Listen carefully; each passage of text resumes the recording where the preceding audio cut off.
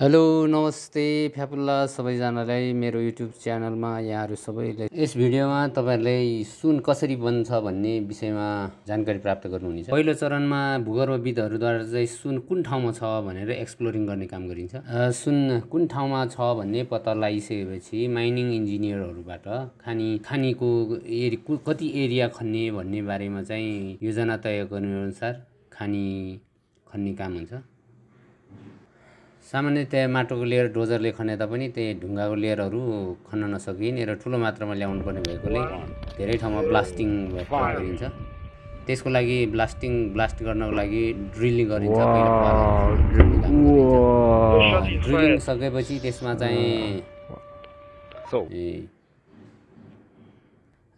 Drilling गरेको ठाउँमा एक्सप्लोसिभहरू राख्ने र पड्काउने काम अर्को टिमबाट गरिन्छ।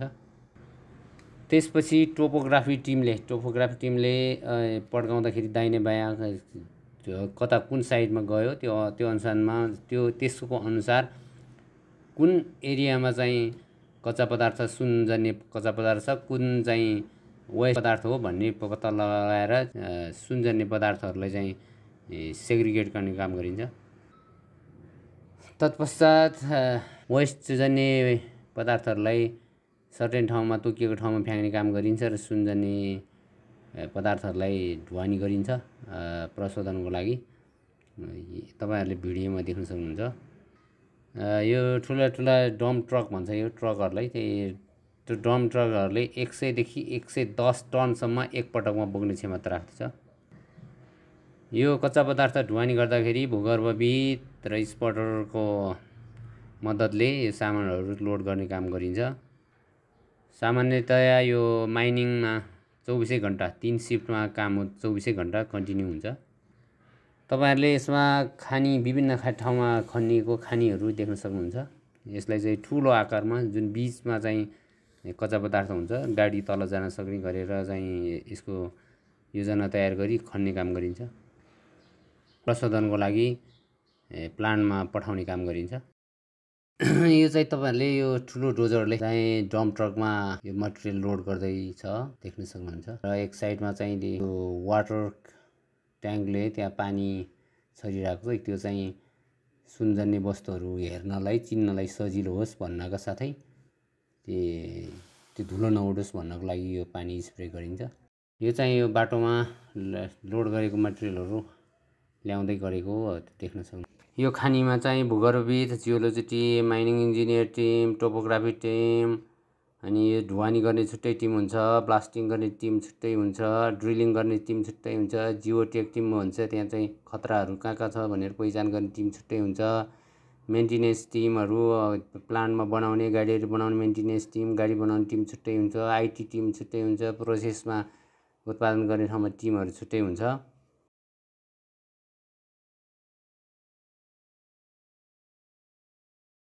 कच्चा पदार्थ ल्याएर थुपार्ने ठाउँलाई चाहिँ रोम प्याड भनिन्छ माइनिङ भाषामा। उच्च गुणस्तरयुक्त कच्चा पदार्थहरूको हरू हेर्न सक्नुहुन्छ। तपाईँहरूलाई यहाँ फोटो र भिडियोमा सजिलोको लागि राखिएको छ। तपाईँहरू हेर्न सक्नुहुन्छ। र यो यो चाहिँ high grade medium grade intermediate grade low grade भनेर विभिन्न ग्रेडहरूमा छुट्याइएको हुन्छ यो मटेरियलहरू चाहिँ यहाँ देखेको चाहिँ तपाईँहरूले यो कच्चा पदार्थहरू देख्न सक्नुहुन्छ। यहाँ तपाईँहरूले नै देख्न सक्नुहुन्छ यहाँ त्यो रातो रातो देखेको एउटा ढुङ्गामा लेयर बसेको टल्किने वस्तु हो। यस्तोहरूको कलेक्सन गरेर चाहिँ सुन बनाउने हो सुनको ढिका ढिका नै तपाईँले प्राप्त गर्न सक्नुहुन्न।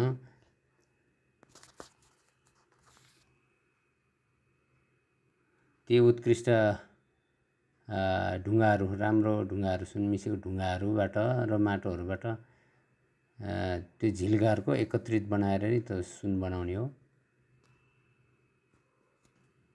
अलि धेरै राम्रो गुणस्तरको भनेको चाहिँ यो यस्तो हुन्छ यो चाहिँ अलि धेरै टल्केको सुन जस्तै देखिन्छ। यो चाहिँ हाई ग्रेड मटेरियल हो। हाई ग्रेड मटेरियलमा चाहिँ एक टन बराबर टु पोइन्ट फाइभ ग्रामभन्दा बढी हुन्छ भन्ने मान्यता हुन्छ। यसलाई सानोभन्दा सानो पिस बनाउने काम गरिन्छ। त्यस पछाडि यसलाई चाहिँ कन्भेयर बेल्ट मार्फत यो बल मिलमा पदार्थ सानो पारेको कच्चा पदार्थ पठाएपछि बल मिलले यसलाई सानोभन्दा सानो पिसमा धुल्याउने काम गरिन्छ र जसलाई एउटा हिलो माटोको रूपमा हिलो माटोको रूपमा चाहिँ यो सिआइएल ट्याङ्कमा सिआइएल कार्बन इन्लिच सिआइएल ट्याङ्कमा पठा पठाउने काम गरिन्छ।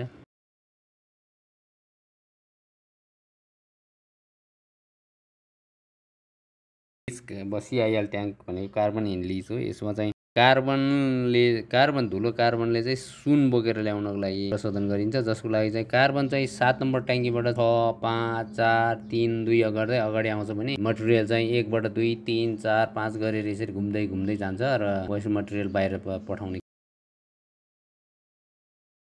त्यसपछि सिआइएल ट्याङ्कबाट आवधिक रूपमा त्यही केमिकलहरू मिक्स गरिसके पछाडि कार्बनलाई एसिड र तातो पानीमा धुने काम गरिन्छ। सुनजन्य पदार्थहरू चाहिँ एकातिर र कार्बन फेरि एकातिर छुटिन्छ। कार्बनहरू पुनः फर्काएर सिआइएल ट्याङ्कमै पठाइन्छ भने जुन धोएको सुनयुक्त पानी छ त्यसलाई चाहिँ प्रिग्नेन्ट ट्याङ्कमा पठाउने काम गरिन्छ। र प्रत्येक आठ आठ आठ दस घन्टा बाह्र घन्टा कति समयमा चाहिँ इलुसन तयार गर्न सकिन्छ त्यही अनुसार यो प्रिग्नेन्ट ट्याङ्कबाट चाहिँ सुन कोठाको गोल्ड रुमभित्रको एउटा क्याथोड भनेको एउटा मौरीको चाका जस्तै घारहरू रहेको हुन्छ। त्यसमा चाहिँ इलेक्ट्रिक युक्त हुन्छ र त्यसमा चाहिँ पानी त्यो सुनयुक्त पानी घुमाइन्छ। त्यो पानीभित्र रहेको सुनहरू चाहिँ त्यो क्याथोडले क्याप्चर गरेर राख्छ र पानी चाहिँ फेरि फर्केर आउँदा आउँछ। यसरी क्याथोडले जुन ग्राब गरिराखेको मटेरियल छ त्यसलाई फेरि एकदम फोर्सयुक्त पानीले हप्तामा दुईचोटि वा तिनचोटि अब कति टाइममा भर्छ त्यो अनुसार व्यवस्था गरिएको हुन्छ मेट्रोलोजिस्टहरूले। र यसलाई चाहिँ एकदम पावरफुल पानीबाट फेरि त्यो क्याथोडबाट त्यो लेदो झार्ने काम गरिन्छ र त्यो लेदोलाई पदार्थ हो त्यसलाई चाहिँ हामी स्यान्ड गोल्ड भन्छौँ। र यो स्यान्ड गोल्डलाई यसरी तयार भएको स्यान्ड गोल्डलाई यो फर्नेस भनिन्छ यो सुन पकाउने ठाउँलाई। यो फर्नेसमा बाह्र सय डिग्रीमा चाहिँ र बाह्र सय डिग्रीमा पकाइसकेपछि यसलाई पोरिङ गरिन्छ। यो झार्दै गरेको पनि देख्न सक्नुहुन्छ। त्यसपछि यो चाहिँ तयारी सुन हो। यो चाहिँ एक्सपोर्ट गर्नको लागि तयारी सुन हो। सबैजनालाई धन्यवाद। भिडियो हेरिदिनु भएकोमा थ्याङ्क यू समग्रमा भन्ने हो भने सुन भनेको सुन खानीमा सुनको ढिक्का ढिक्का खानीमा कहीँ पनि पाइँदैन। यो ढुङ्गा माटोभित्र मिसिएर बसेको झिल्का झिल्का सानो झिल्का सानो पातलो लेयरहरूलाई एकत्रित बनाएर बनाएर छुट्याएर जुन सुनजन्य जति पदार्थ चाहिँ एक ठाउँ पारेर चाहिँ सुन उत्पादन गरिन्छ त्यही भएर यो सुन उत्पादन सुन त्यसै कारण पनि एकदम महँगो भएको हुनसक्छ। धन्यवाद सबैजनालाई। भिडियो हेरिदिनु भएकोमा यस्तै यस्तै अरू भिडियोहरू हेरिदिनको लागि हेर्नको लागि तपाईँहरूले च्यानल सब्सक्राइब गरिदिनु हुन अनुरोध गर्दछु। Thank you thank you very much